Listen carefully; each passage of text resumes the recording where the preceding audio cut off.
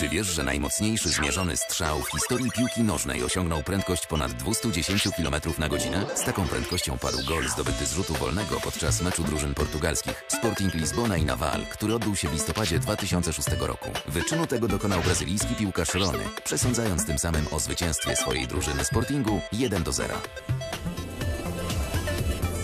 Szersze spojrzenie na świat zapewniają największe na świecie telewizory Sharp Aquos LED.